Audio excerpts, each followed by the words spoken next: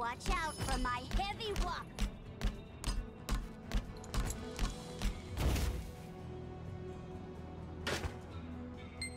Demons are appearing on the other continents too?